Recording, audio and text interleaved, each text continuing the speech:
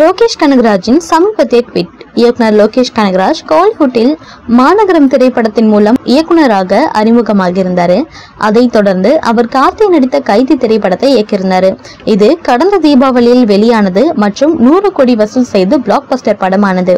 கைதியின் வெற்றியை தொடர்ந்து லோகேஷ் கனகராஜ் மற்றும் விஜய் விஜய் சேதுபதி மாலவிகா மோக்னன் ஆகியோருடன் இணைந்து மாஸ்டர் படத்தை முடித்திருக்காரு. மேலும் இந்த படத்தின் வெளியீட்டிற்கு பிறகு கார்த்தியுடன் கைதியின் இரண்டாம் பாகத்தை எடுக்க திட்டமிட்டிருக்காராம். சமீபத்தில் கார்த்தியின் பிறந்த நாளை முன்னிட்டு லோகேஷ் ஒரு போட்டிருக்காரு.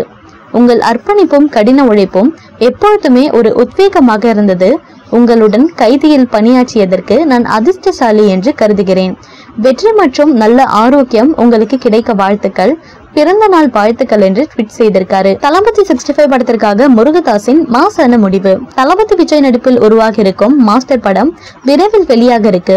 இதனைத் தொடர்ந்து தளபதி விஜய் நடிக்கும் தளபதி சிக்ஸ்டி ஃபைவ் படத்திற்கான அப்டேட்களை விஜய் ரசிகர்கள் பெரிதும் எதிர்பார்த்து காத்துட்டு இருக்காங்க அநேகமாக தளபதி சிக்ஸ்டி ஃபைவ் படத்தை ஏ ஆர் முருகதாஸ் தான் இயக்க போகிறார் என்ற செய்தி அரசல் புரசலாக பரவியிருக்கு.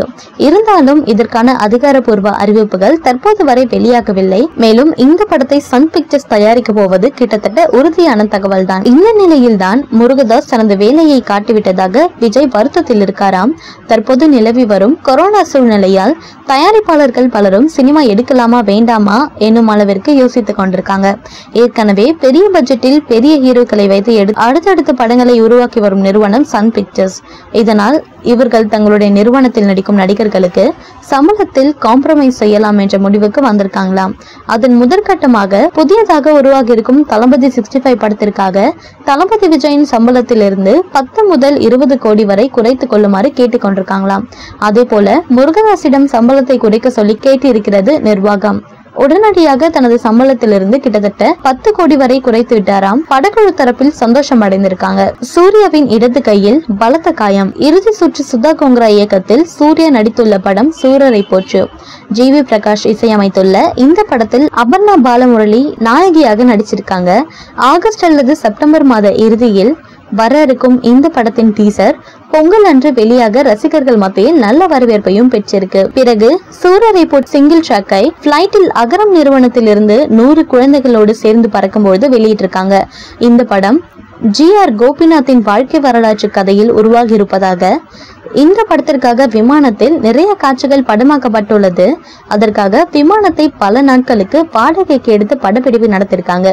இந்த நிலையில் வெற்றிக்காக போராடி கொண்டிருக்கும் சூர்யா ஊரடங்கு காரணமாக வீட்டிலேயே உடற்பயிற்சி செய்து வந்தார்.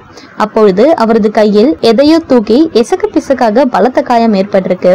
இது தானாகவே ஆறிவிடும் என பார்த்தால் அது குணமாவது போல தெரியாததால் மருத்துவமனைக்கு சென்று சிகிச்சை எடுத்துக்கொண்டு திரும்பியிருக்காரு. இது ஒன்றும் பயப்படுற அளவுக்கு இல்லை. விரைவில் குணமடைந்து விடுவார் என மருத்துவர்கள் கூறியுள்ளதாக தகவல்கள் வெளியாக இருக்கு.